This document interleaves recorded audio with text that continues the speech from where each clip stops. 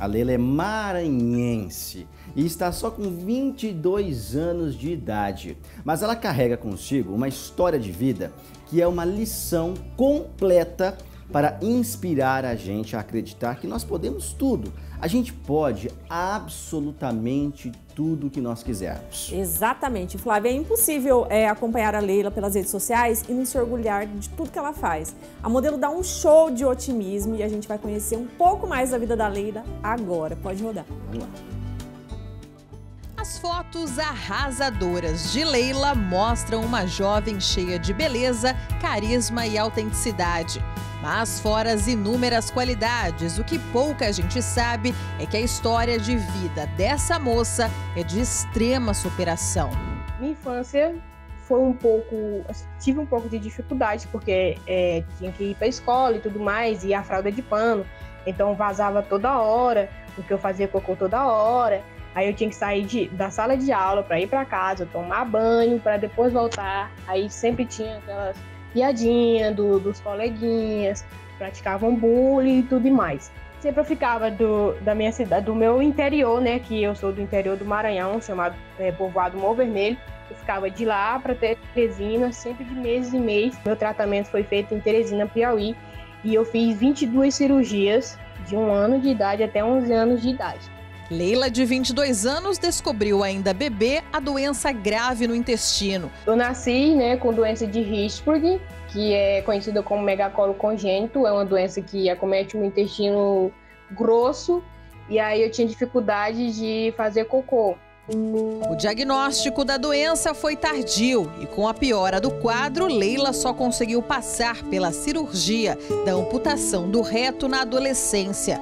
Hoje, a bolsa de colostomia que a jovem usa é definitiva. Dia 8 do, do 10 de 2020, eu fiz a, a grande cirurgia que foi de amputação do reto. Né? Demorou 10 horas e meia na sala de cirurgia, porque é, é, os médicos falam que é uma das maiores cirurgias de intestino. Então, eles resolveram fazer, porque às vezes fazem por etapa, mas resolveram fazer é, as duas etapas, né? Que é duas em uma. Por mais que eu sofri é, eu consegui vencer mais essa etapa.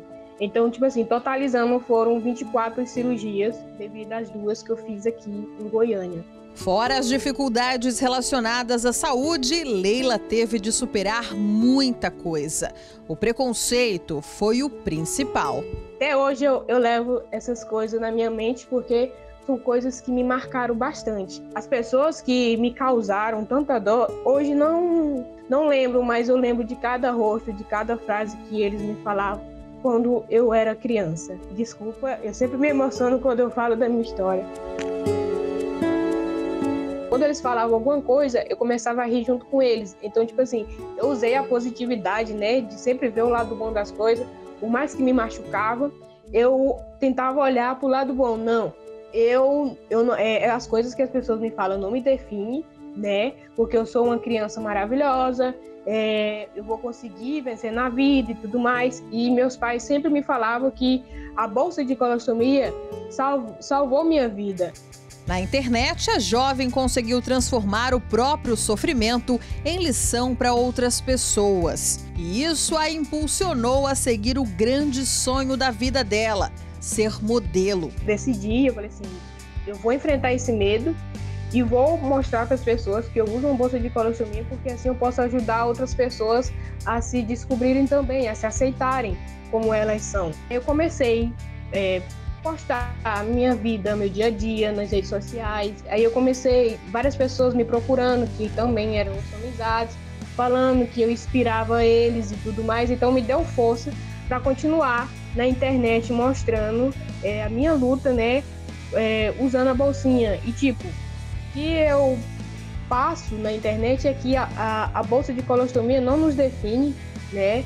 Não nos limita, a gente pode fazer tudo o que a gente quiser e que a bolsinha não é o fim, porque tem muita gente que ainda não se aceita, tem muita gente que entra em depressão porque acha que tipo, mulheres acham que é menos mulher só porque usam bolsa de colostomia e, e não é isso, sabe? Mas cada pessoa tem um tempo de aceitação. Talvez hoje Leila seja uma das poucas ou a única modelo ostomizada do Brasil. Motivo de orgulho para ela, para a família e para o namorado. Então corri atrás, é, eu busquei conhecimento sobre, é, teve agências que eu procurei para me agenciar e tudo mais, para ter mais conhecimento.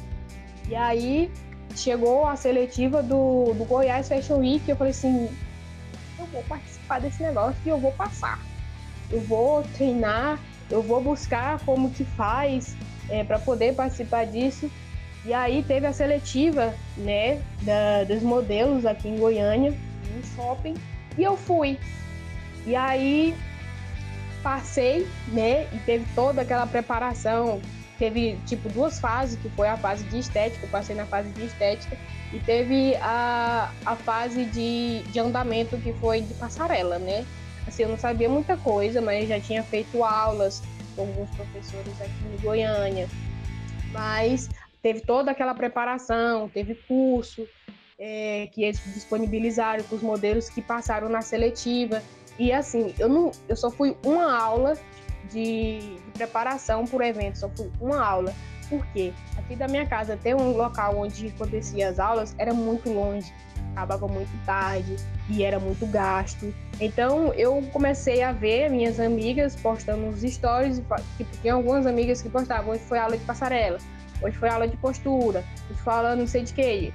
E aí eu comecei a pegar e treinar aqui no corredor de casa. Com a carreira em expansão, com um livro virtual sobre otimismo que tem transformado milhares de vidas, Leila ainda continua cheia de planos e sonhos.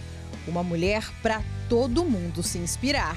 Hoje eu sou uma mulher realizada e espero tipo realizar vários outros sonhos que ainda estão por vir. As pessoas que realmente ficam na nossa vida são as pessoas que gosta da gente como a gente é. Então, é, qualquer pessoa pode amar e ser amado.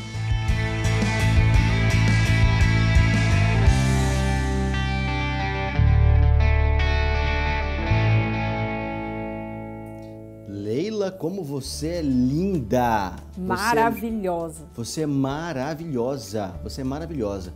Mas é, a sua história vai fazer a gente refletir. Sabe por quê? E olha, você que está em casa assistindo a gente agora, olha como isso é importante para nossa vida, não é? Porque dizem que ser otimista, manter a fé e a perseverança, quando tudo vai bem, é fácil. E é verdade, né? Tá tudo dando certo na sua vida. Aí a gente pensa assim: ah, é fácil ter otimismo, é fácil falar coisas boas, né? Manter a energia positiva. Se manter forte, determinado, igual a Leila faz diante de tantas cirurgias e diagnósticos médicos complicados é algo que nos ensina muito. Que a gente percebe que a Leila, ela decidiu que não há outra alternativa na vida dela a não ser acreditar que vai dar certo. E quando a gente acredita que vai dar certo, você pode ter certeza no que eu estou te dizendo. Dá certo. E talvez seja exatamente essa certeza que ela carrega e que faz com que ela vença esse monte de dificuldades em nome daquilo que ela acredita. Leila, sua linda, eu sei que você está assistindo a gente ao vivo agora pelo Facebook e eu queria falar que a sua forma de lidar com as dificuldades faz com que a gente olhe para o nosso próprio mundo e queira é, repensar é, o que a gente considera ser um limite, né? Porque a nossa vida é resultado de tudo aquilo que a gente pode escolher, daquilo que a gente não pode escolher. Aí a nossa atitude em lidar com isso é que faz toda a diferença, viu? Um beijo para você, muito obrigada por ser essa inspiração ambulante, por contar a sua história aqui e boa recuperação porque ela fez mais uma cirurgia dia 18 do 10. Agora? Agora. Dia 18 do 10? Recentemente. Puxa vida. Ô Leila, tudo de bom para você, muita saúde, você é maravilhosa e a sua carreira de modelo vai deslanchar cada vez mais, tenho certeza disso.